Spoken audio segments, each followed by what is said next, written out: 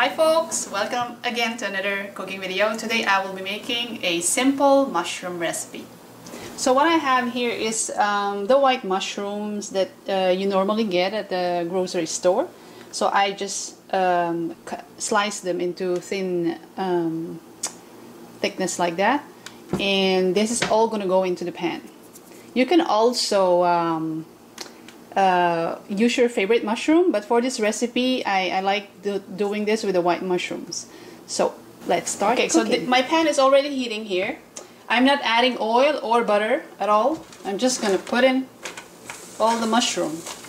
And you probably notice that you know it's gonna produce water and everything.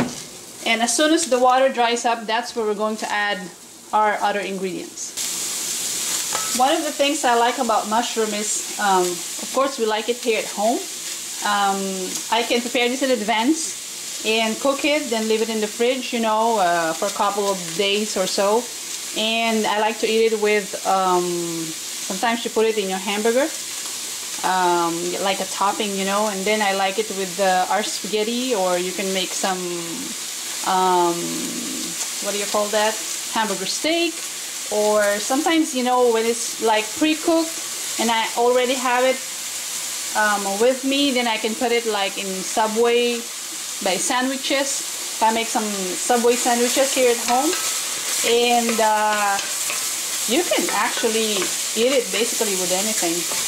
And uh, this recipe that I am showing with you is one of my favorites especially if you're eating a piece of steak. Of course you need mushroom you know um, I go to this restaurant one time and you had to pay for five dollars for you know a little bowl of mushroom and um, yeah it was good. It was okay you know but um, the taste is not really uh, what you were expecting for and then you pay about six dollars for it.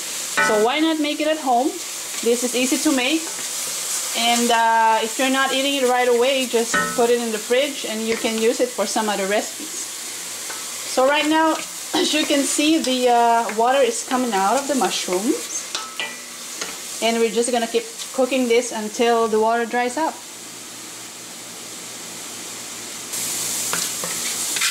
So the water is almost evaporated. What I'm going to add right now some butter. A little bit of your favorite cooking oil. That will mix that up Then we start frying our mushroom. What I'm looking for is like brown it a little bit. That nice uh, golden color. To that I'm going to add some pepper.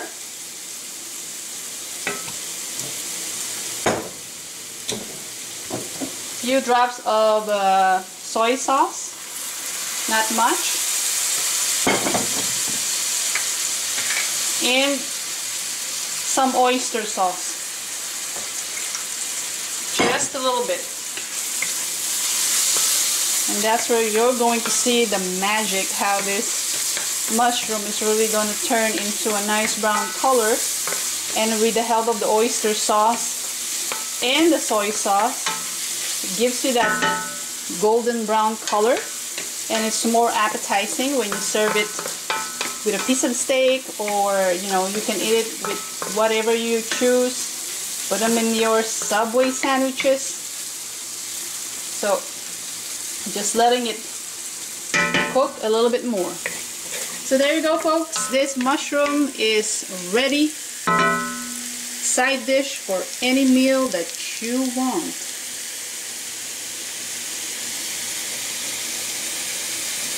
So there you go folks. Thank you again for watching. For the full details of this um, simple recipe, I left you the link to my website below. And you can also check my Facebook page. Once in a while, there are some folks there that post uh, some of the recipes that they tried. You know, you may do so as well.